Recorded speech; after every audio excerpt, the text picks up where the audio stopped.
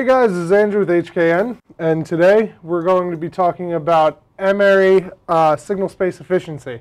And specifically, we're going to present a problem and solve it in its entirety, and we're going to figure out which one of two signal space constellations is more power efficient. So, the problem is that we have five signals we want to send, and we're given two ways that we can send it. And we want to compare the power to bit error rate efficiency to see which one we should use. The first signal set is actually just written out in terms of a bunch of different signals. So we have a signal 1, and it's 1 for 2 seconds. Signal 2 is it's 1 for 1 second, and then negative 1 for the second second. 1, negative 1. Wildly not to scale, but you get the point. Then the third signal, and so this is like a case where we have um, maybe five different options for things we want to send. And so here, these are representing the five different uh, code words or whatever you want to call them, uh, bits of information that we would like to send. This is signal 3. And these are all functions of time, obviously.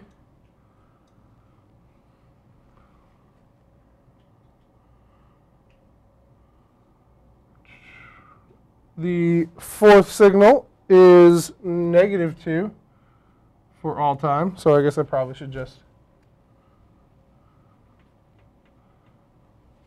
come up here. And so these are given to you. And what we're going to do is we're going to plot them all into signal space. So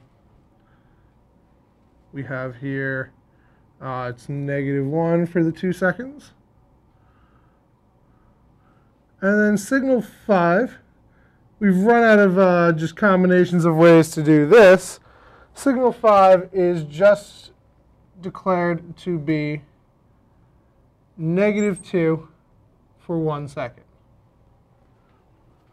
as a function of time. So this is our first signal set. So this is signal set 1.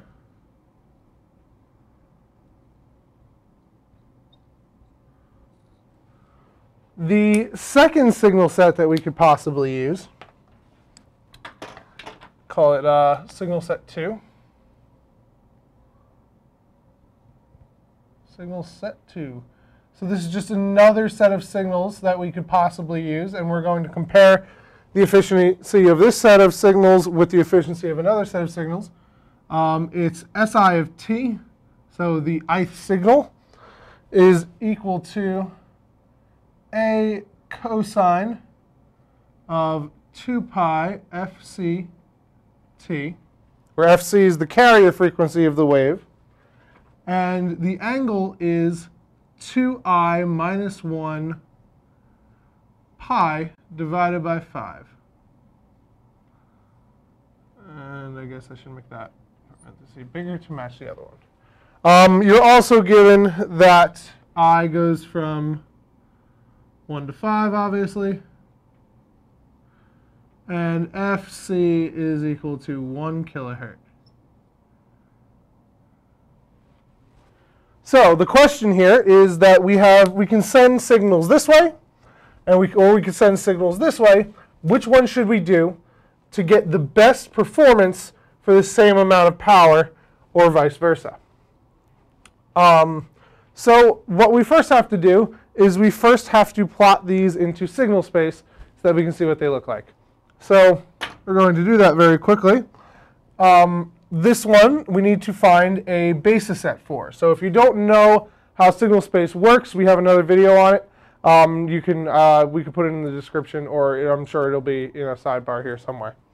Um, but we need to find a basis function for signal set one. So uh, just by inspection, we can find uh, phi 1, 1 and phi 1, 2. Uh, and these have to be uh, functions of time, obviously. And so these are functions that will make up these guys and also have unit energy. So phi 1, 1 will be, for one second, a boxcar, and it will have height c. And the reason that we say it has height c and not 1 or something like that is because we need to normalize the energy. Um, it has to have unit energy in order to be a basis function. So we will solve for what that is in a second. But the second basis function is going to go from 1 to 2 and is also going to be of height c because uh, this guy's energy will be the same as this guy's energy. So if we find c for one of them, we should find c for the other one. And obviously this is time, and this is phi 1, 1, and this is phi 1, 2. So we need to find out what this c is. And in order for that, the definition for a basis set is that the dot product of a function um, with itself has to be 1, and the dot product of a basis function with another one has to be 0. So these are orthonormal bases. Um, so this has to equal to 1. And obviously the support for phi 1, 1 is from 0 to 1. So this is a fairly easy integral to take. We just get 0 to 1 of c squared dt. And if you this has to equal to 1, so we get uh, c squared uh, 1 t, so you have to evaluate from 0 to 1, uh, has to equal to 1. So that means that c squared has to equal to 1.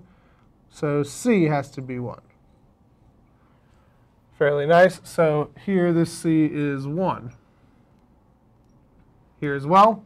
So now both of these functions, both of our basis sets, have unit energy. Basically, energy is also the, uh, the integral of the entire function, the magnitude squared, or I guess uh, you don't need to take a magnitude because uh, when you're squaring it.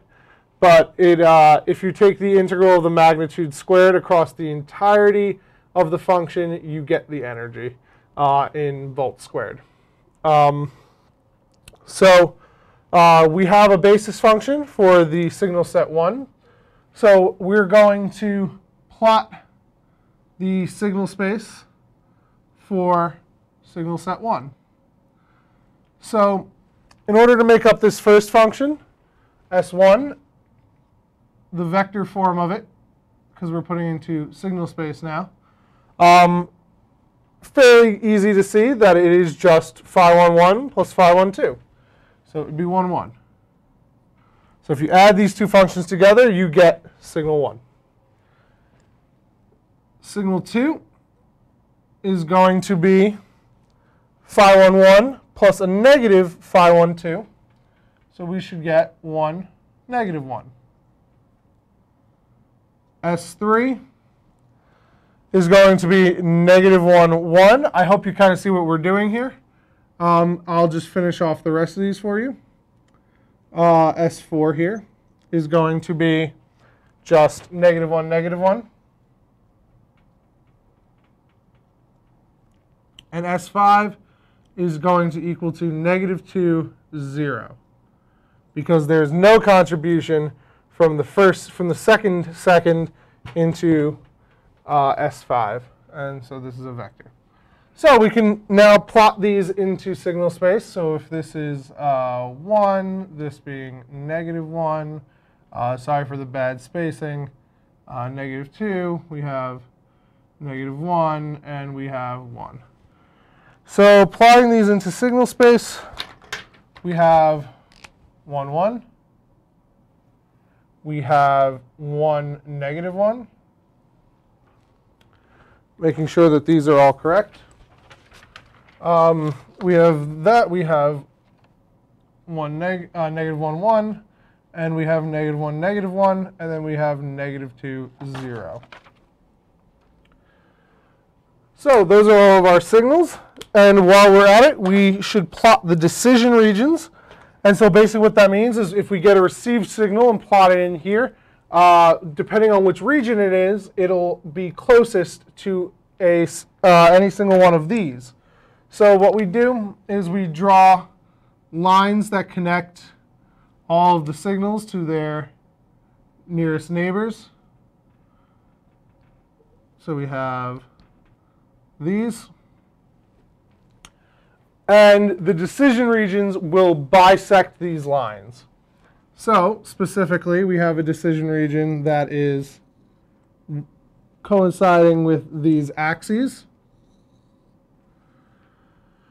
And then we have a decision region which will bisect this line and bisect this line. And so now we've split this region up into five. So if, for instance, I have a received signal over here, right about here, it'll map to this function because that is the one in within this region.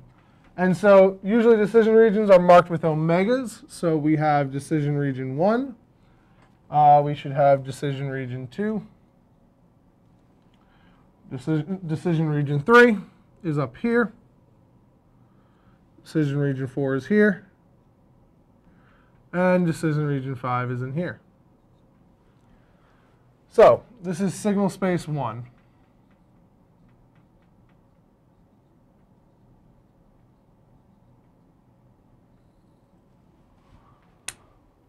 Sorry, that should be first signal space.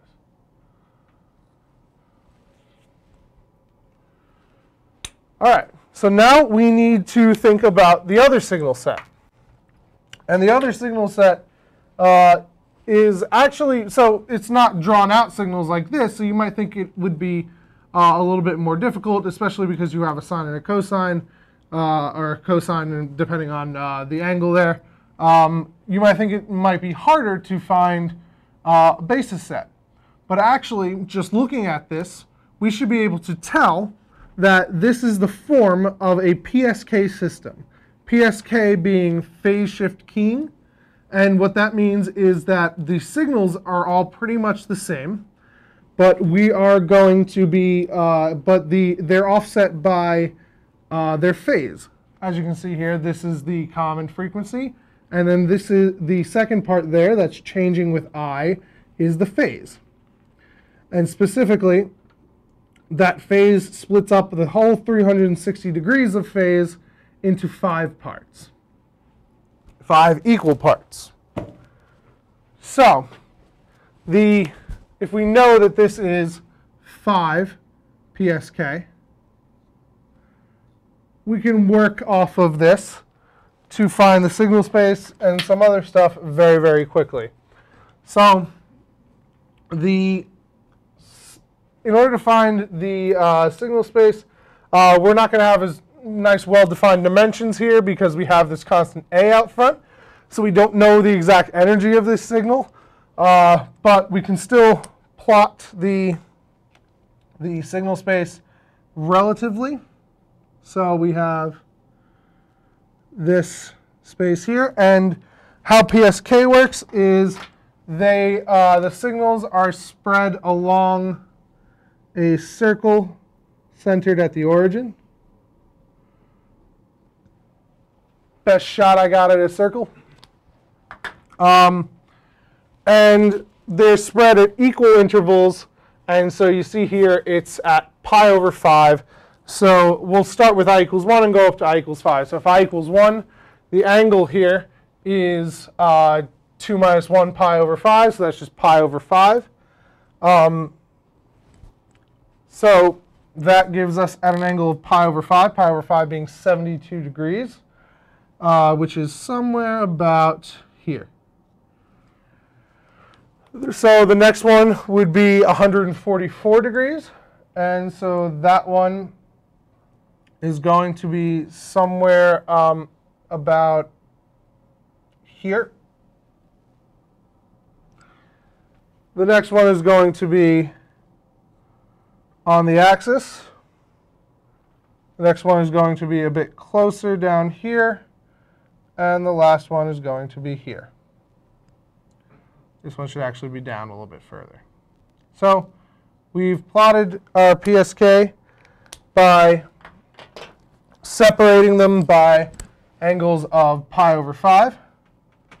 We're going to just redraw that very quickly because I've done a horrible job.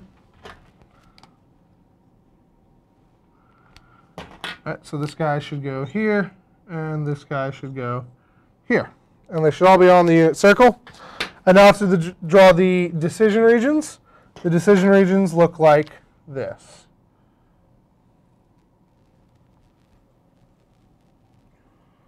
And so what you'll see is they kind of intersect a pentagon. So if I was to draw a regular pentagon centered at the origin, these lines would bisect that pentagon. And so this is decision region 1.